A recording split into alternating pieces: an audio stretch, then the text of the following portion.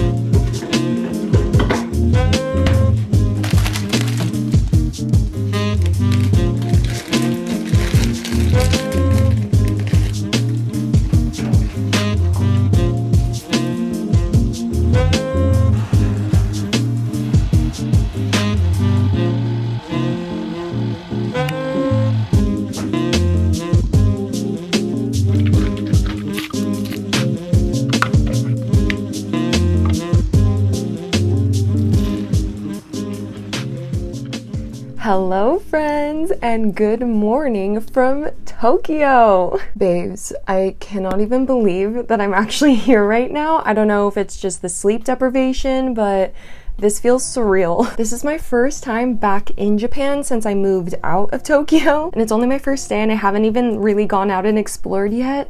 But it kind of feels like I never left. It feels like I picked up like right where I left off. But oh my goodness, it was such a journey to get here. So at my connecting flight from San Francisco to Tokyo, we boarded the plane and actually waited in there for two hours because of the high winds. But of course, everything worked out. I am here in the Airbnb. People did warn me that going through customs in the Japanese airport was going to take a long time. I think it took me a total of like two to three hours. So by the time I finally made it into Tokyo and found my Airbnb, I was so exhausted. I had a great night's sleep and I actually woke up at a normal time. And I'm feeling great so far, so fingers crossed that I won't really be experiencing jet lag that much. So yeah, I'm gonna be spending this first week in Tokyo completely on my own. It's a little solo trip, and then my sister and her boyfriend are gonna meet up with me exactly a week from now. I just wanted to have a nice week to myself because if I'm flying all the way here, I wanna get as much time in Japan as I can. I thought first I'd go ahead and give you guys a quick little Airbnb tour. Alright, so first in any Japanese apartment is the genkan where you take off your shoes and right next to the genkan is the bathroom. This is one of those small Tokyo unit style bathrooms with the toilet and shower right next to each other. From the bathroom we have a nice large frosted window so now we're entering the kitchen area and believe it or not this is considered a pretty decent sized kitchen for Tokyo. Like in most Japanese apartments you would have the sink and then a single stove right here with absolutely zero counter space so I feel like I'm really living large right now. and through the kitchen, we enter the bedroom. Have a little desk area to eat and do some work. The only thing that's a little peculiar is that the bed is right against the closet. I feel like it would make a lot more sense to have the bed facing vertical this way so there's space to get into the closet. Alright babes, so this new layout just makes so much more sense to me. Now I actually have access to both sides of the closet. Okay, so I'm finally dressed. It took me long enough. I always feel so much pressure to look really put together when I'm in Tokyo because everyone here always looks so nice. But anyway, I was thinking of heading to Uniqlo today because I really need some new socks. And I was also thinking of going to a cafe and I saw that in Ginza, there is a Uniqlo cafe. Let's go.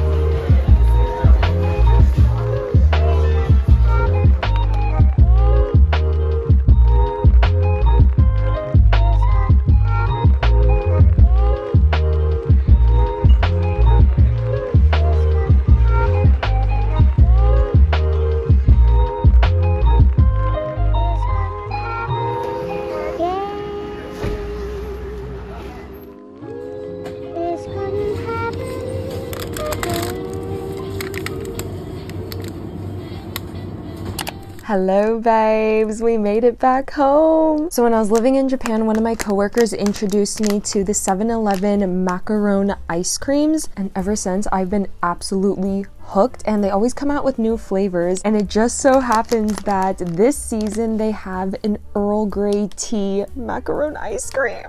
This looks delightful. I'm gonna pop this sucker right in my mouth. what? It's like a light peach. Ooh, let's get into it, yeah. Oh my god. That is fragrant. The texture of this is ridiculous. Since today was my first actual full day, it really made me miss living in Japan. Going shopping, getting sushi, going to the convenience stores. It's just all so good. I'm never gonna stop coming to Japan. It's a lot more fun when you're on vacation, not as much fun when you're working here. but anyway, from Uniqlo, I got one of their seamless bras. They're so stinking comfortable. I'm obsessed. I've been wanting one for so long. And my main mission was just to get socks. So I got a couple different pairs. And then from the drugstore, I just got two CanMake products. I got the CanMake Mermaid Sunscreen Gel. And I'm almost out of my powder. So I just got this one. This is the CanMake Silky Loose Moist Powder. Had a really good reviews. So that's all I got today because it's just day one. I didn't want to go overboard. I'm going to do a majority of my shopping towards the end of the trip because I just don't want to weigh my luggage down since we will be traveling throughout Japan. It's not even 9 p.m., but I'm exhausted. I'm so surprised I'm doing really well with the jet lag. So I'm gonna call it a night and I'll see you guys tomorrow. Bye! Good morning, friends, and welcome to day two of being in Tokyo. So, another day, another cafe hop. I really want to go to the Starbucks Reserve. I think it's in like Nakameguro area. I've actually never been there before, so I'm not really sure what to expect, but I really need some coffee, also, really need some food. Oh, also, because it's cherry blossom season, every year they come out with a collection of like sakura tumblers and cups and mugs. So, I'm hoping that we'll be able to find it, but they honestly sell out so fast. I'm not sure if there's gonna be anything left, but let's just go check.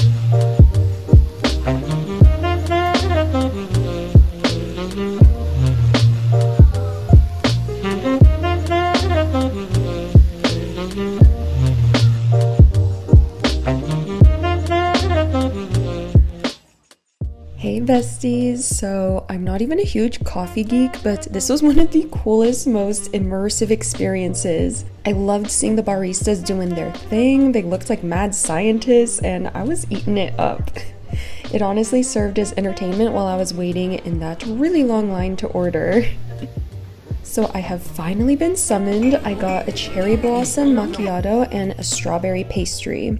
I wanted to take it upstairs to explore a little bit and to find some seating, but y'all, this reserve is the largest Starbucks in Japan. It's four entire floors, and the first floor is the cafe and bakery, the second floor serves Teavana, and the third floor has a cocktail bar. And I bet this outdoor balcony is gonna have a stunning view of Nakameguro River once the cherry blossoms have fully bloomed. But regardless, it was such a gorgeous balcony. It was giving me all the Tokyo cafe vibes I was craving.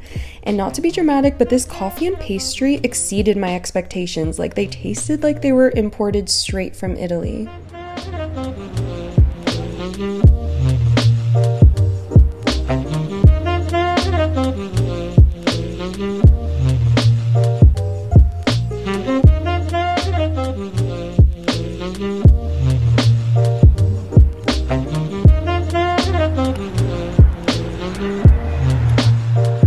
The Starbucks was absolutely delicious, and I saw my very first fully bloomed cherry blossom tree.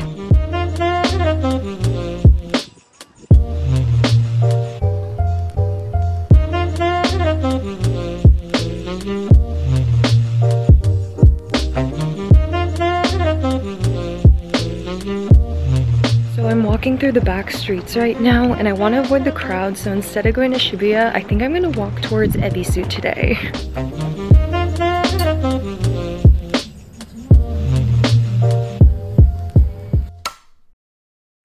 Morning from Tokyo. It is day four. Yesterday I didn't film because the temperature just dropped drastically. It was in the 40s. I did not pack clothes for that. It literally rained the entire day from morning till night. So I ended up just using that day to edit here in the Airbnb. But apparently we have two days of sunshine. So I want to take advantage. Don't really have any set plans. I just first want to go to a cute cafe, get some lunch, maybe go to a park afterwards. And I don't know, just kind of explore and see where I end up. So let's head out.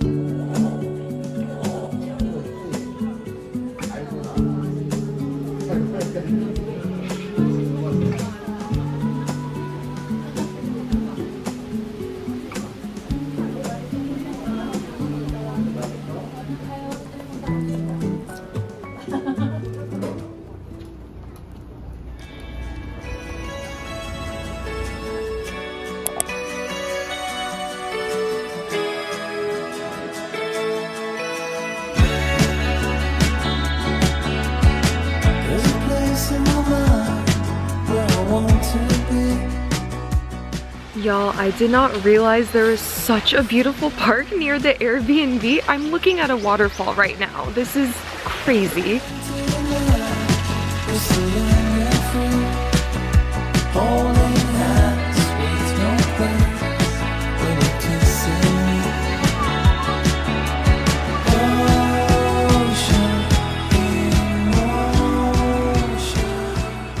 So it turns out this park is within walking distance to Roppongi Hills. That is going to be our next destination.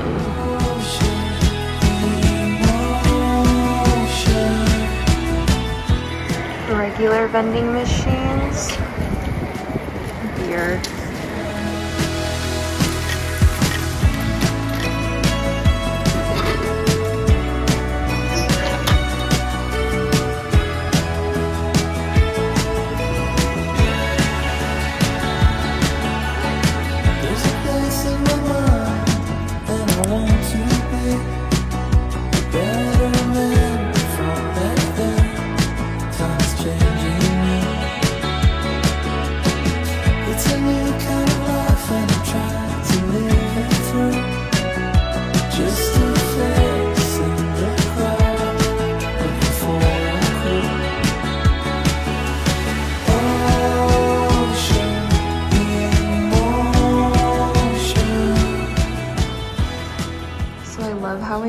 Japanese bathrooms, they have the sinks, but then they have a separate area just to do your makeup.